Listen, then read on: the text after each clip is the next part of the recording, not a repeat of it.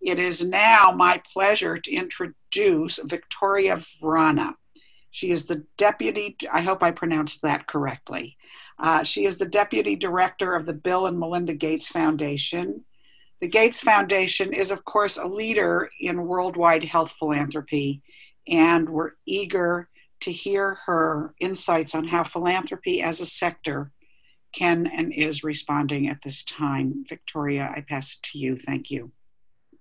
Thank you so much, Marcia, and thank you to the Jewish Funders Network for the invitation. I, um, like many of you, are I'm spending enormous amounts of time with my family. I've got three kids here at home, and about three times the normal interaction with my colleagues, and so that's lovely. But it's great to connect out with other people as well. I wish we were all in Miami um, but this is is definitely better than nothing. So I'm, I'm impressed with how quickly you pivoted your event um, to to this virtual experience. Um, just a second about the team I'm on, and I'm one of many deputy directors at the at the Bill and Melinda Gates Foundation, um, and I'm on a team called the Philanthropic Partnership Team. And our mission is to increase the quality and quantity of philanthropic giving by individuals from everyday donors to ultra high net worth donors. So we work directly with ultra high net worth donors. We invest in a lot of research and innovation for everyday donors, and we invest a lot in the infrastructure for philanthropy, things like associations, data, policy, and regulatory issues. So we're the giving team at the foundation, which is um, we're we're issue agnostic, which is a little rare. I'm going to try and um, share my slides right now. Uh, they don't want to come up. Hang on just a second. Here we go. Let's see. How is that working? What if I. Yep. How's that? Good? Yeah, Victoria, okay. you're great. We can see it. Fantastic. So, um, COVID 19 is a global crisis of unprecedented scale, and it's unleashed an equally unprecedented philanthropic response. We've seen actions from $100 million grants from foundations and corporations to neighbors helping neighbors in extraordinary ways. Candid, um, the organization that was created when GuideStar and Foundation Center combined, has been closely tracking the global private philanthropic response through news stories and other publicly available resources. This is from Saturday, so it's probably out of date already. Um, but philanthropic funding announced in the last seven weeks has reached 1 $1.9 billion so far.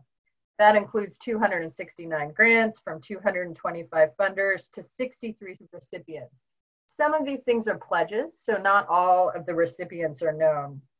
If you look at the causes, um, obviously infectious diseases, medical support, health, these are all the things at the top. Education is a close fifth right? I think the needs of all of these children out of school are front and center for everyone, and equitable distribution of education resources is going to be critical. And there's another side to this story, though, about which parts of the sector are losing funds right now. And Andres, as he talked about the JCCs, the camps, the day schools, there, there are so many parts of our sector that will be weakened. And so it's important that we have the full picture and that we're watching the full picture you can see the distribution of countries where the funds are coming from so far right here. Um, United States and China just a week ago were 84% of pledges and 97% of dollar value. That's now changed to 78% of pledges and 80% of dollar value, which is good. It means more countries are coming in. As, as China and the US, um, the amounts are rising, you also see involvement from many other funders we don't yet know what the everyday giving response will be like, but I anticipate it'll also be record breaking.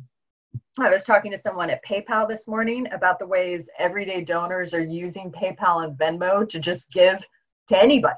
There are Google Docs where people are just collecting Venmo handles of people who need money, and people are just giving money, um, which is amazing. Also, a little bit of risk for fraud in there, so there's there's some things to watch out for. Um, there have been 22,000 uh, fundraisers created on GoFundMe in the past several weeks, which have raised $40 million. And this is just, you know, $10, $20 donations. This is a significant response from around the world, but it's also not enough. So, timely and dramatic actions are needed if the philanthropic sector is going to play the pivotal role that it must to complement governments and the private sector.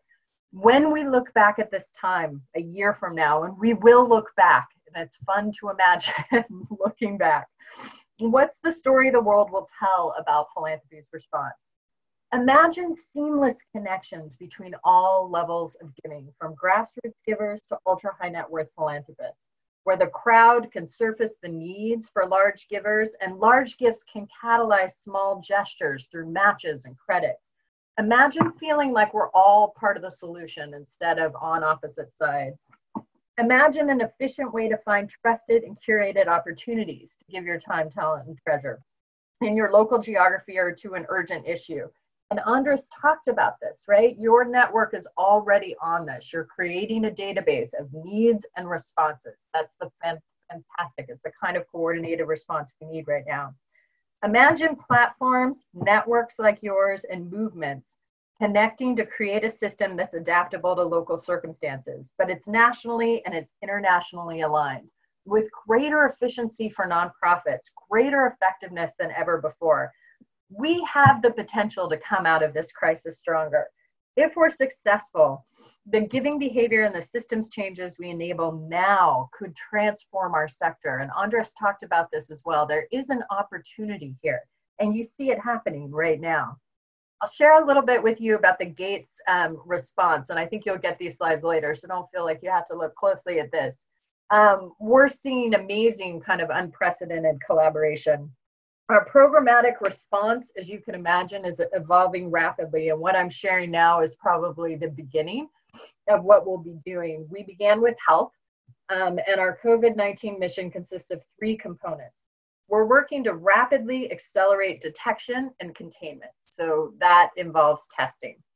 We're working to protect the most vulnerable, and the Gates is global. So when we think about most vulnerable, we think about the populations in Africa and South Asia the numbers, the projections we're hearing for India in particular are heartbreaking. And it's starting to hit in India and Africa. The third area of focus is to develop vaccines, therapeutics, and diagnostics for a sustained response. We're also, like all of you, concerned with the health and the safety of our staff and our grantees and our partners.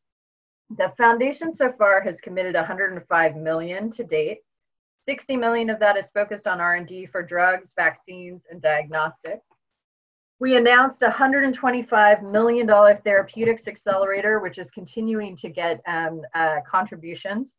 And that so far, the core funders are the, are the Gates Foundation, Wellcome Trust, and MasterCard. And, and this therapeutics accelerator will work get the most promising therapeutics through clinical trial and manufacturing process quickly. Speed is critical here. $40 million of our funds are focused on surveillance, modeling, and health systems in Africa and South Asia. We're very concerned that cases of coronavirus in these areas will overwhelm the health facilities. That while deaths from corona could be high, deaths from non related issues could be even higher. Pneumonia, malaria, complicated births can devastate communities. Gates Philanthropy Partners, the last thing on this list here, is the foundation's public charity this is a, a, a, little promoted vehicle that anyone can give to and give alongside the Gates Foundation.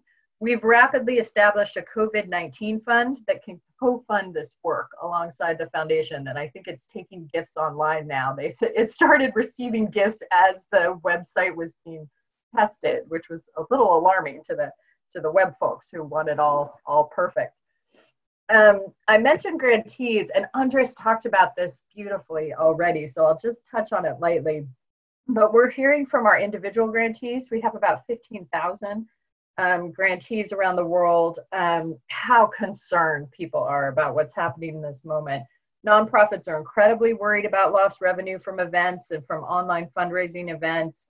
Um, sometimes these worries are exacerbated by funders and sponsors who aren't letting organizations transfer support to virtual events.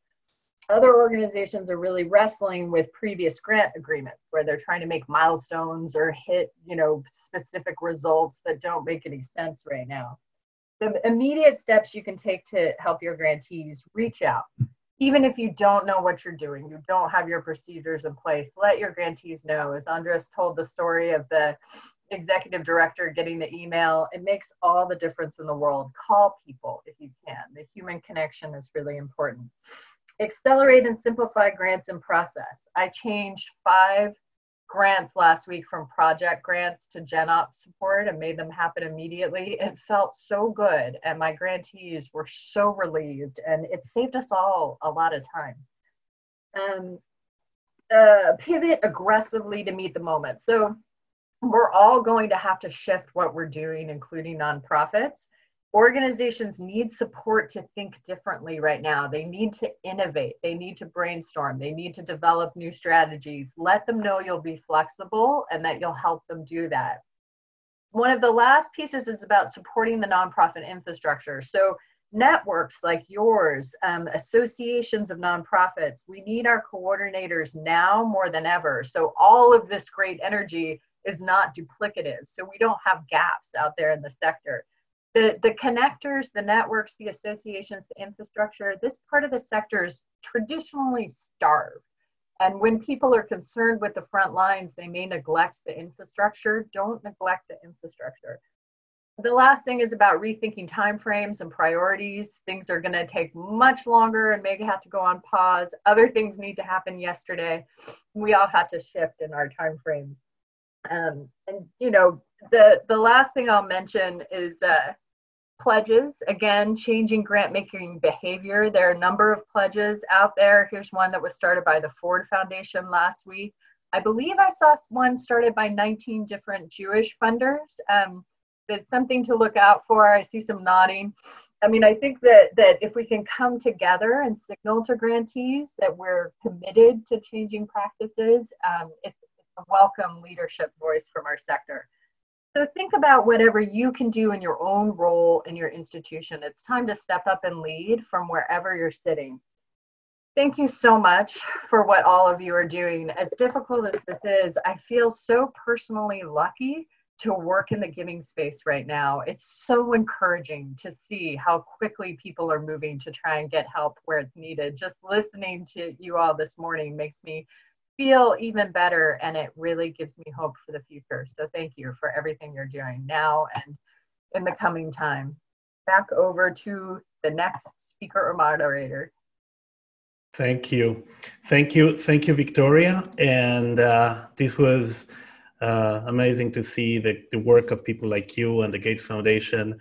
And um, I'm happy that you can stay with us to uh, here and participate in our sort of internal communal conversation. Um, and we have now, uh, we're joined by two great professionals in the Jewish community. One is my dear friend Jeff Solomon, who is rightfully called the Dean of the philanthropic uh, profession in the Jewish community. Uh, we all know him, former head of ACBP, the Andrew and Charles Bronfman Philanthropies, and a leader in his own right. Um, and Marc Baker, who's the CEO of the uh, Combined Jewish Philanthropies, the Jewish Federation on Boston, one of the most thoughtful federation leaders uh, in the in the country.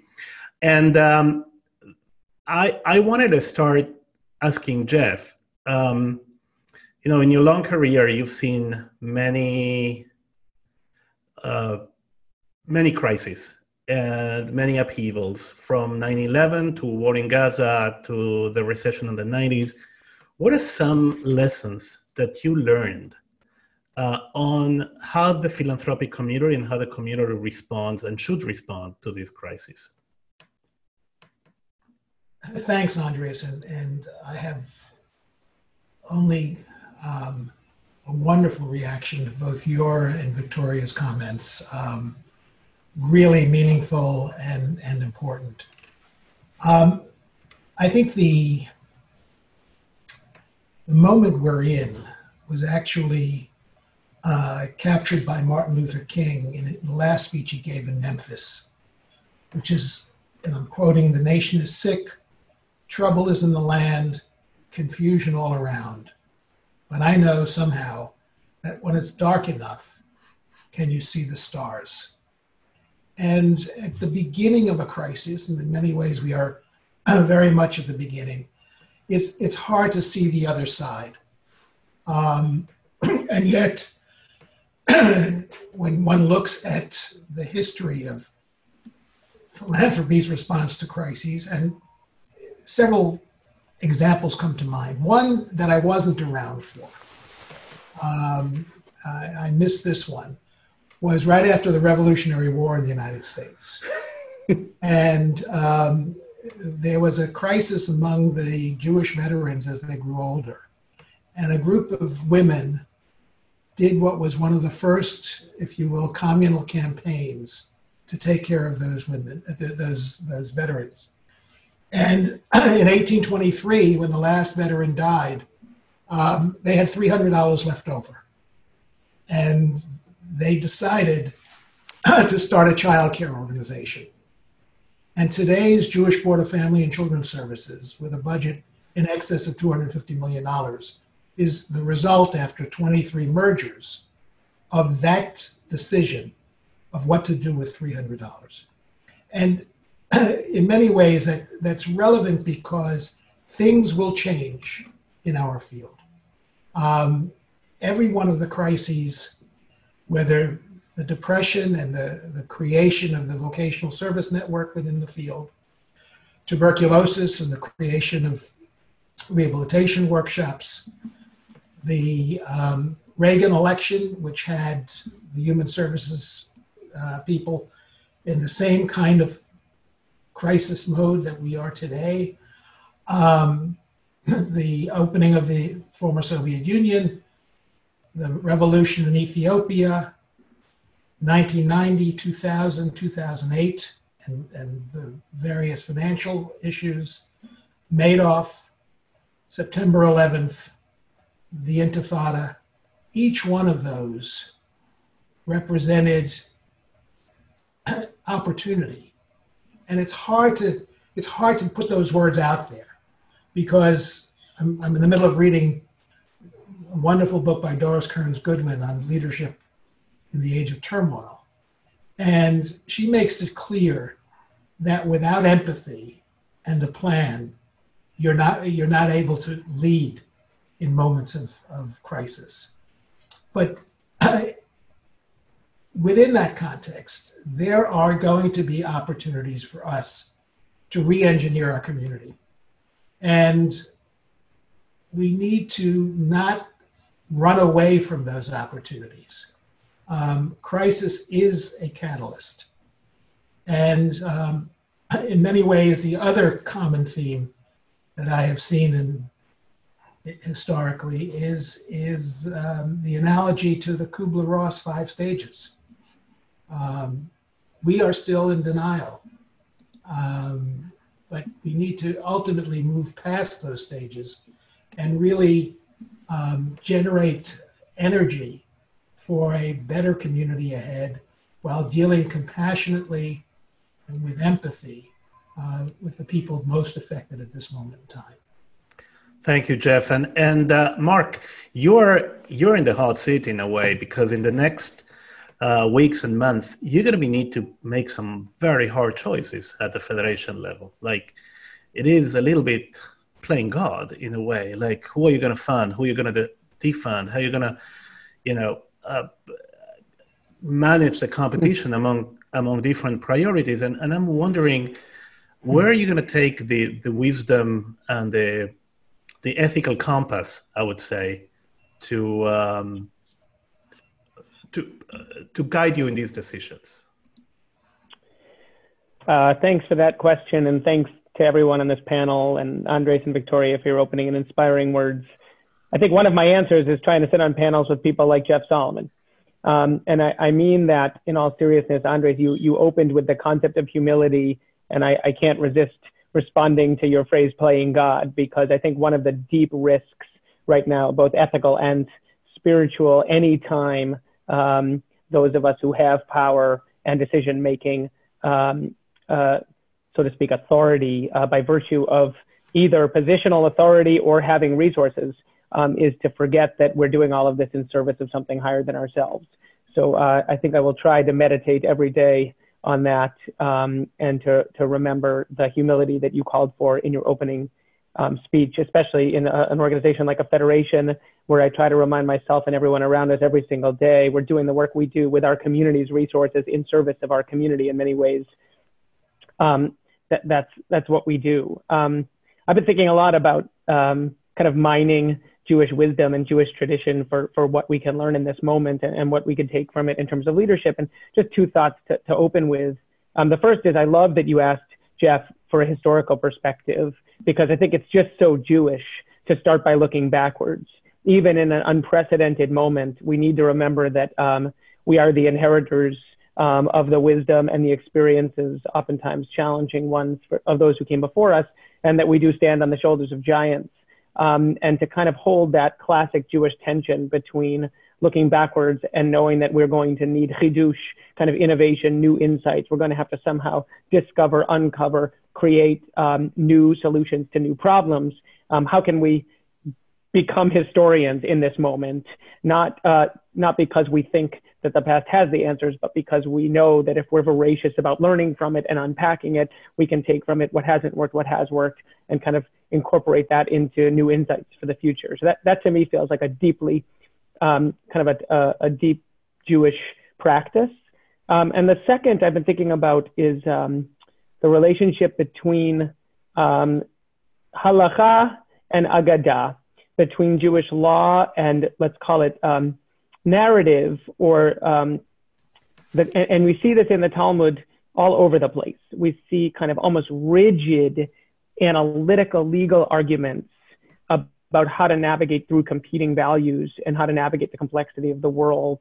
Um, and then right at the end of one, you will see a story that profoundly humanizes the conversation that just happened. And I think we've all been in this already. We're seeing, we're in moments where we're trying to come up with policy and strategy and systems, and we have to be like rigorously analytical about how to address this at every single dollar we spend. And then sometimes we realize, wait a minute, what about the, the human beings? And then we're in other conversations where it's like, we've got to, we've got to save every single job, every single person, and remember the humanity in front of us.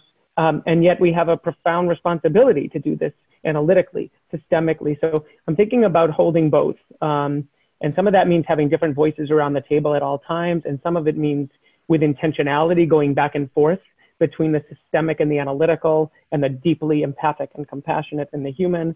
And, and some of it means living out the analytical with a deep, deep empathy and humanity that we've called for um, already um, in this conversation. And remembering that even when we need to make hard decisions, we're doing it about the lives of human beings.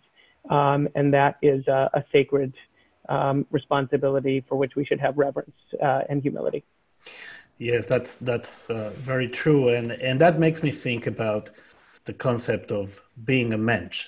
And Victoria, I don't mm. know if you know the term, but being a mensch is like being a being a good person, being a, a person with integrity and empathy and compassion.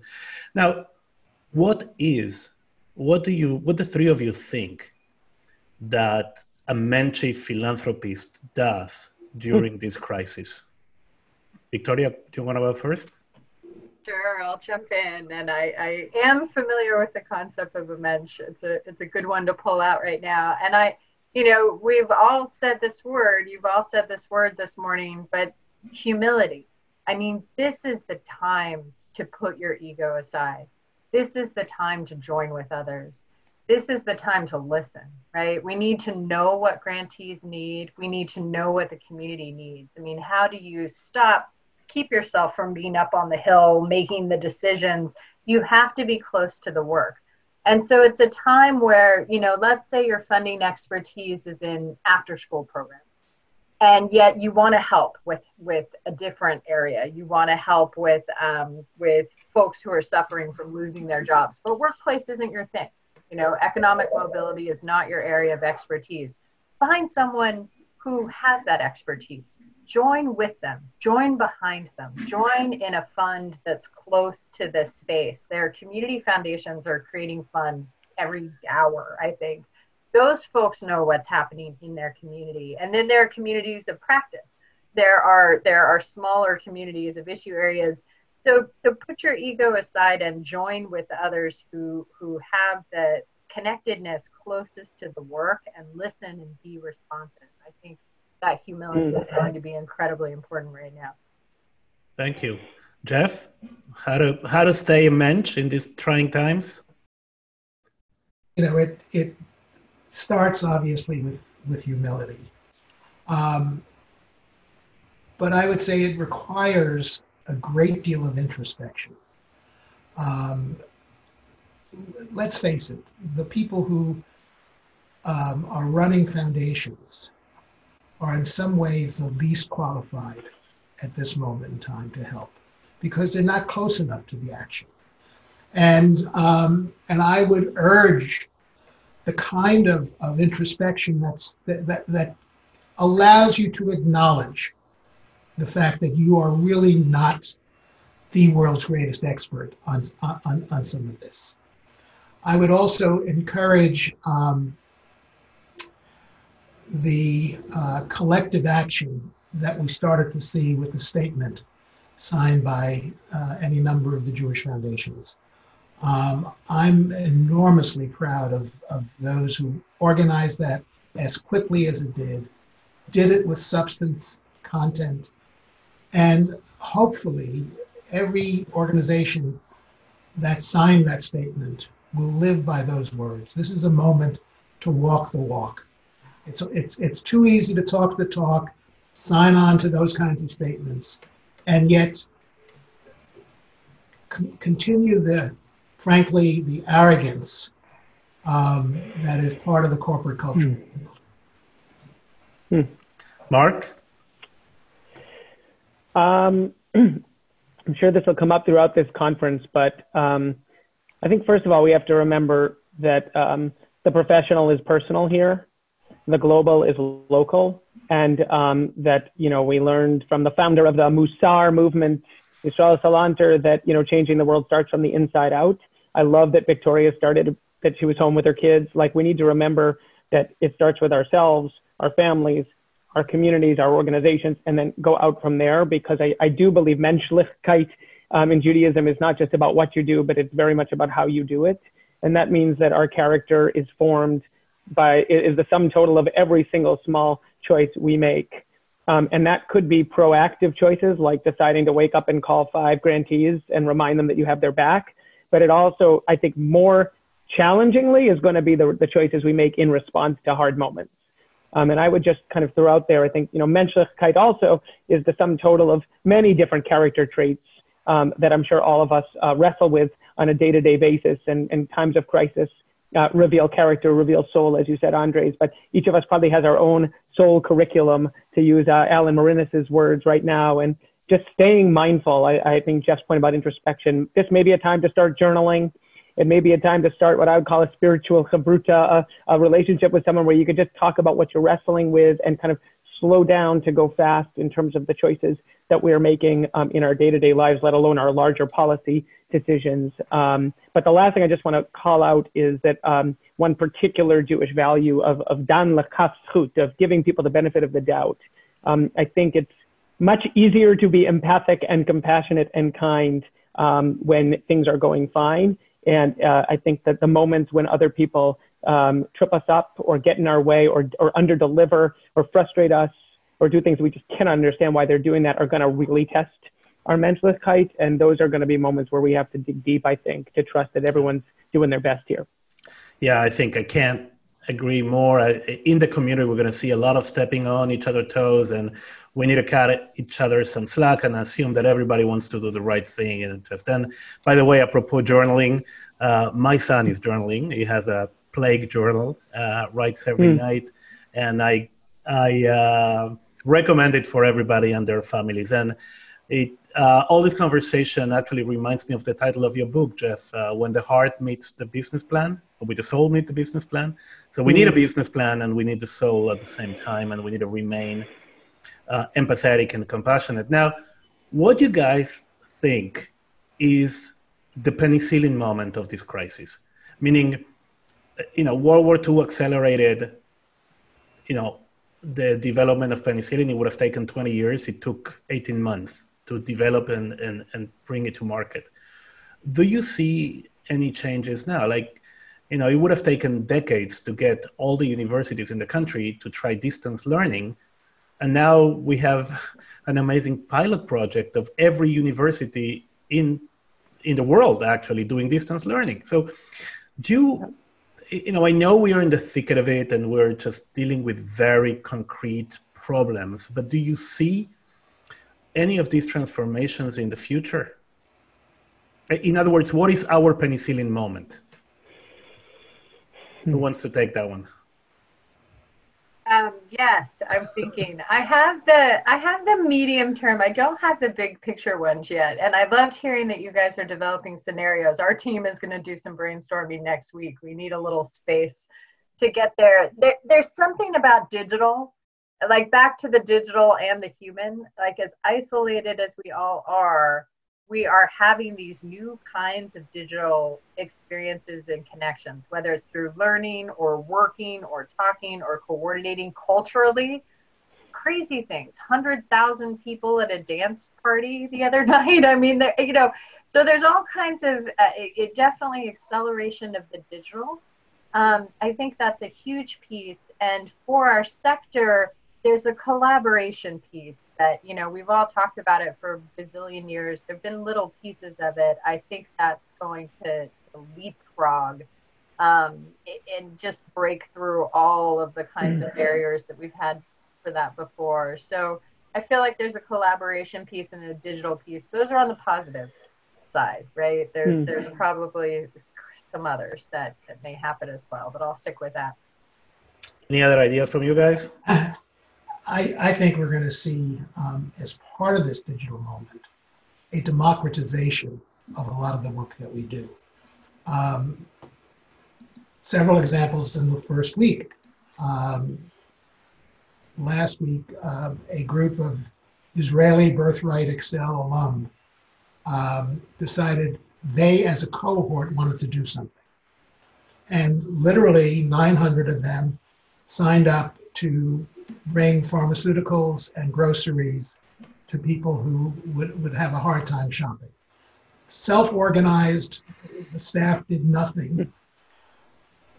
By Tuesday of last week, they decided what they're doing should be beyond Israel. And they created a global hackathon, Thursday, an all night hackathon, Thursday night, to get other alumni to think about what they could be doing in this crisis. And that's an amazing kind of process. It's, it's bottom up. We don't all yet know how to respond to it. But I think that may become a penicillin component um, of this crisis. Marc? Um, yeah, the two things that come to mind, one I think relates to, to Victoria's point is, you know, we could see to some degree the remaking of the, the Jewish ecosystem um, which involves collaborations and consolidations and um, a breaking down of silos that um, you know can survive for some period of time when things are fine, but can't um, in the face of this kind of adversity. But to me, what's more exciting than that is the potential for a new conversation about what kind of vision and priorities should drive that remaking. Um, and it's really hard for the Jewish community to agree on almost anything, but this feels like a what matters most moment for us. Um, and if there's a way for us to begin a collective conversation about the Jewish future and kind of a, a what matters most conversation that we won't all agree on, but really could uh, galvanize a kind of collective vision of the Jewish future that will help both inform hard choices now, but also kind of shape our priorities for the future. I think that would uh, that would potentially um, really kind of shape the the next decades and generations of the Jewish community to come.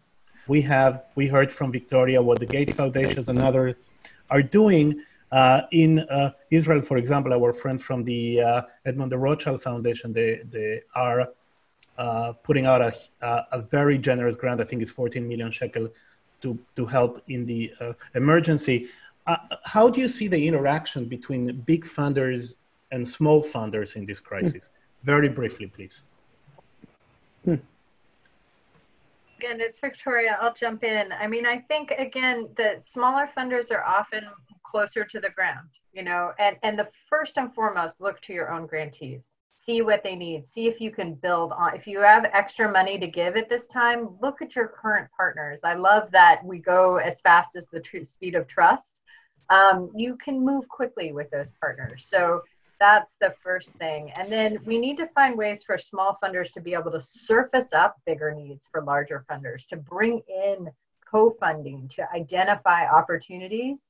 And then again, there are lots of collaborative vehicles um, springing up. So, in places where a smaller funder wants to get involved, where they don't have the expertise or the connection, instead of spending the time trying to figure that out right now, look to the, the regional, local, national, the different issue based funds um, and consider using that as an outlet. Right. Uh, I would add yeah. um, that we should look toward exactly at what Victoria and her department does. Um, the Gates Foundation has been a model for a very long time in developing partnerships, building those partnerships, finding ways of, of large and small. Um, I, I, recall when, when um, Warren Buffett made the first big gift, I was being interviewed by a number of different reporters and uh, did a little homework and discovered that 1,139 people besides Buffett gave money to Gates within that month. And that's something that we're not good at uh, as a foundation community. Yeah, sorry, just made a mistake here that I, that I want to correct. I mentioned that Rothschild gave 15 million shekels, it's 50 million dollars. It's 50 million shekels, sorry. Yes, Marc, last word. Uh, my last thought is just that I think um, we need to figure out ways to uh, accelerate and almost pilot micro collective impact efforts um, and kind of like run things both this way and up and down um, the the kind of systemic chain much more quickly. It's one thing to pilot an initiative or a program, and, and usually collective impact takes a long time over a long period of time. But if we could find ways to build those muscles and accelerate kind of dynamic collaborations, testing, learning, and then sharing those knowledge across networks, um, I think we'll, uh, will we'll accelerate change, but also uh, strengthen the entire system. Okay, thank you all very very much, and thank you for your insight and for your input, and for all of you to listen in. I'm sure that these are going to be trying times, but hearing you and hearing there's a whole chat going on at the side, uh, the comments of the people, I think that this, as a community, as a Jewish people, as a humanity, this can be our finest hour. So thank you all very much and thank stay you. tuned for the next event. Thank you all. Thank you. Stay well. Thank you. Thank you. Stay well and safe.